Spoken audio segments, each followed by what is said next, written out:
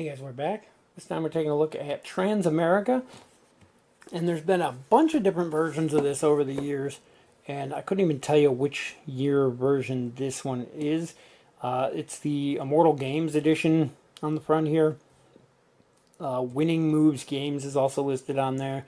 And this edition I got specifically because it also includes the Vexation expansion, which is kind of hard to find nowadays.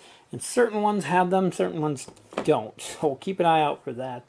But it's basically a game where you're building train tracks across America. You're trying to link up different cities along the way. And um, in doing so, you use a set of shared tracks. In the base game, you only had those shared tracks, but in the Vexation expansion, it added color-coded tracks, which only you can use. And then other players basically have to build a path around those. So added a little bit more strategy to the game, I think, and uh, definitely worth uh, looking into, and definitely made it a little bit better in my opinion. Anyway, let's get right in and check it out.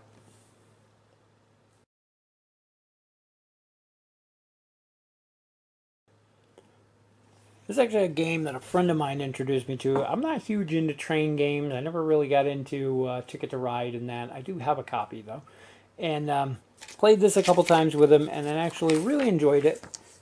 So I uh, decided to pick up a copy, and it was really hard to find a copy, to be honest. Uh, the the entire rules are literally one piece of paper, and this is I think these say 2002 um, which is when the original game was released. Somewhere it does, maybe it's on the back, but it's uh, got a list of all our components here and then literally that is how to play that little section there. The back is specifically for the vexation rules, I think. I know they they got their own little section here. So the back is actually plays you through around how to play, how the turn ends, and then how to prepare for the next round.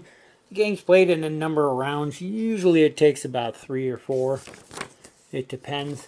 And the vexation instructions there with the colored tracks. You can only ever have three colored tracks at one junction. And people can basically just work their way around those if they have to. Not a whole lot of rules. For our map board, we have a map of the United States. There are different versions of this. There's Trans Europe and things like that that have different maps. I prefer the US one. It's a very basic map of the United States, but we have major cities listed all over, and they're color coded. You have green, red, yellow, blue, and orange. And basically, orange is the east coast, green is the west coast, red is the south, yellow is central, and blue is the north. You have these cards and probably the one drawback of this version is it comes with the mini cards where the uh, there are other versions that have full-size cards which I much prefer. But each of these cards has corresponding colored backs and then you have your first player token. The different colored backs are going to get shuffled among themselves so you're going to have a stack of these you're going to shuffle them up. Everybody's going to get one of each color which is going to give you a city and they give you an approximate location of it too. So this is San Francisco, which is right here. And you're going to end up with five of these cards, one of each color. And your goal is going to be to make a route. So we got Denver, El Paso, Jacksonville, and Chicago. So that would be our, our destinations. At the beginning of the game, each player is going to pick a place to start. It can be any junction of these lines anywhere on the map. Doesn't have to be in a city. And you have little pieces. Everybody has these. Like I said, these include the vexation pieces. You're going to put your train up here on the scoring. And you're going to put your cylinder wherever you want to start on the board. I don't know if that's a good place for us to start. We gotta go Chicago, Jacksonville. What do we say? Denver, which is Colorado. And I should probably put these east to west to be easier. Denver, Jacksonville, San Francisco. So we've got San Francisco, Denver, Chicago, Jacksonville. what am I missing? El Paso. Of course, we got one way down here. So those are our goals. Ideally, you put yourself in between a couple of them so you can work both ways if you need to. Uh, we're kind of all over the map here, so let's go right here to start. I think. Maybe more towards the middle. Let's go here. And then we have our three tracks. This is from the Vexation expansion. You might not have those if you don't have the expansion. And there's a whole pile of regular tracks. And on their turn, every player is going to get to lay down two pieces of track. Now, I don't know if you can see it on the camera here. I might be able to zoom in. But you can see these normal lines here are one. So you could put one piece there, one piece there, however you want. And then somebody else would take their turn and come back to you. Now, these little ones here, you can see that go over the bridges, over water, or the tunnels through the mountains. You can see how they're double lines. One piece will actually count as two on those. So if you went here, you couldn't put your second one there. It would take two pieces to do those. So you would have to go again. Well, we wouldn't have done that in the first place, but say we went here up to Denver as our first turn. On our second turn, we could make a bridge out of Denver across the mountains towards San Francisco. That would take both of our placements for that turn. Eventually, you're going to make these nice paths. They're going to lead all over.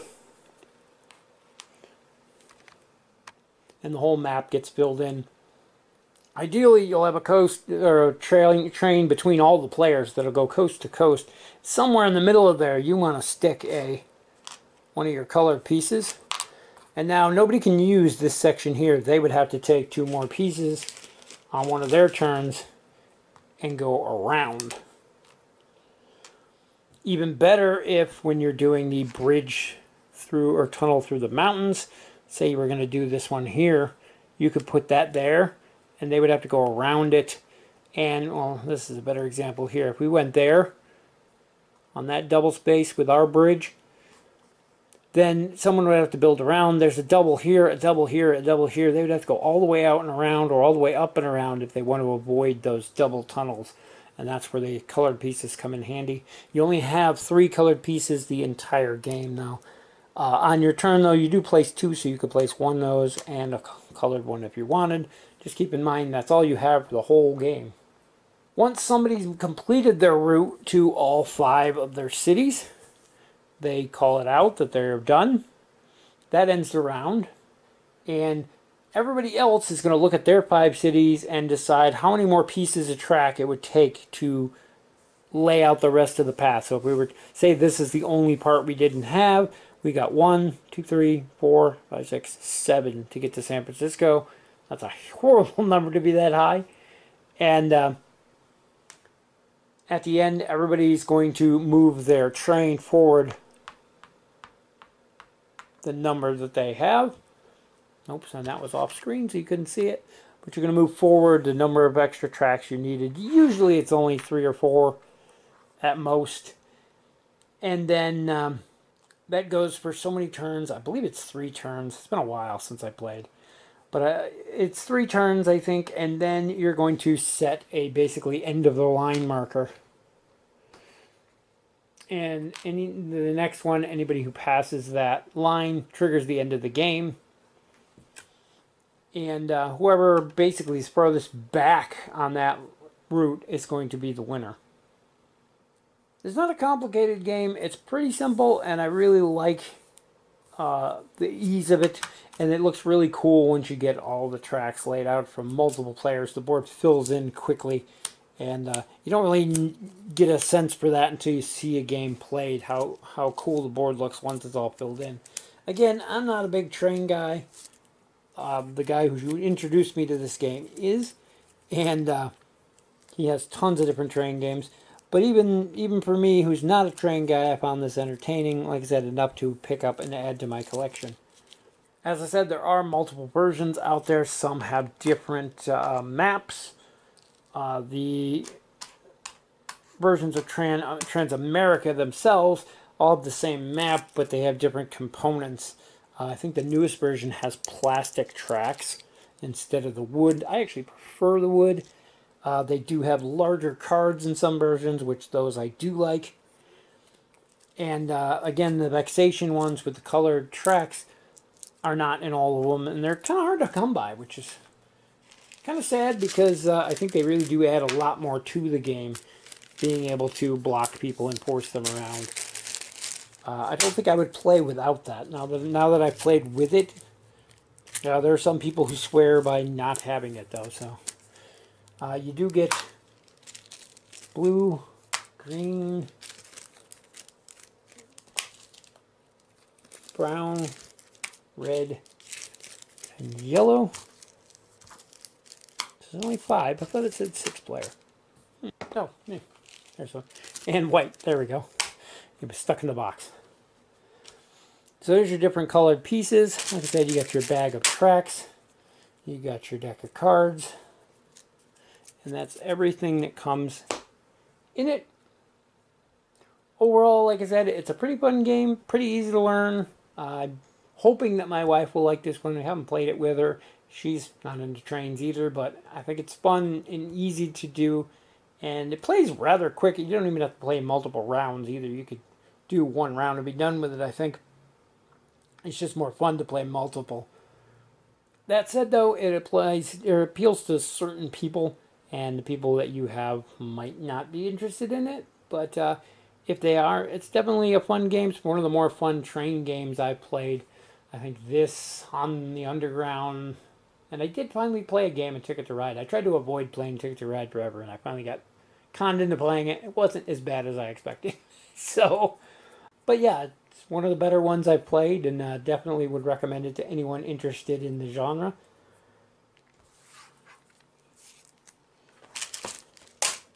Overall, though, it is a really simple, really fun game that doesn't take a ton to learn, and it doesn't take a long time to play, which is a big seller around here. I like long games, my family does not. And uh, hoping to get it to the table more and get refreshed on anything that I may have messed up or forgotten in this. I'm sorry about that. Like I said, it has been a little while since I played. Overall, though, I think it's a great game if you can find it at a reasonable price. I think there is a reprint of it coming soon. I think that's the one that has the plastic tracks. So the price is probably going to go up a little bit on it because of that. But this older version can be difficult to find or sometimes the shipping costs more than the actual thing. And it comes in a pretty small box, which really bothers me when they do that. But if you can find it at a reasonable price, it's great. I wouldn't pay the big premium. I got this copy actually used. And uh, keep that in mind too. It all depends on how much you're interested in it. But uh, worth the retail price, not worth the, the extra people want sometimes for it. So anyway, that's going to wrap it up for our look at Transamerica. Hope it helps you decide if it's for you. And uh, as always, thank you guys for watching, and we'll see you in the next video.